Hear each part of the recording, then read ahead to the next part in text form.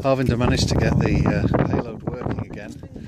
Damien and some of the other guys managed to put some more um, gas in the balloon, and we're just waiting for Sam now to put the finishing touches to the payload, which is a little bit damaged because, as you can see, we're missing a bit of the antenna there.